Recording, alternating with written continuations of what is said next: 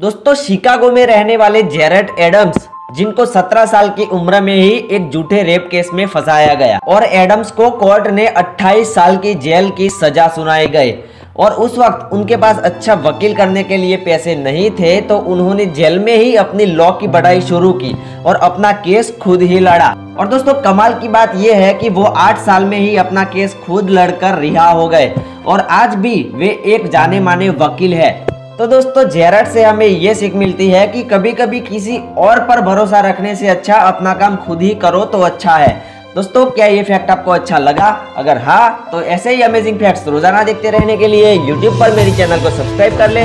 और अगर आप इंस्टाग्राम पर देख रहे हैं तो मुझे फॉलो करना ना भूले। मिलते हैं अगली वीडियो में।